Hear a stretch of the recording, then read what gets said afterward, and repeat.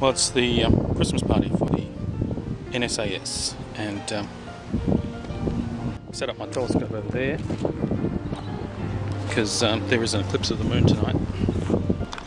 Got a little problem with the barbecue. No one brought any matches. I'm going to use a very dubious procedure.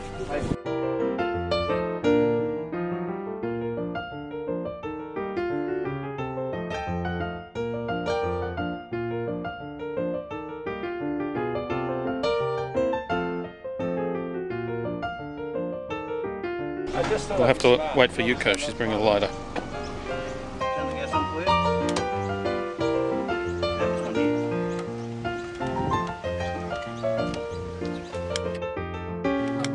You should have brought one that works.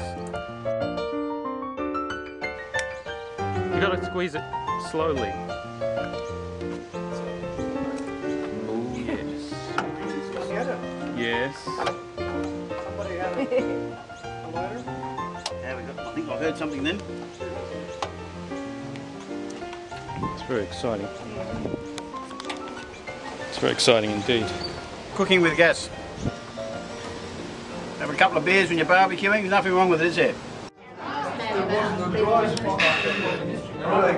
Congratulations.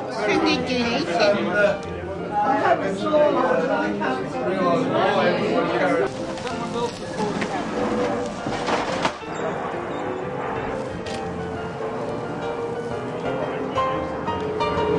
think that bird is interested in our sausages. It's a very um, exacting process here. Moving that one to there, that one to there, whoop, that one to there, that one to there, that one to there. There are people milling around my telescope. Oh, okay. Sorry. Hello. Hello. Hang on, don't do that. That's a delicate scientific instrument.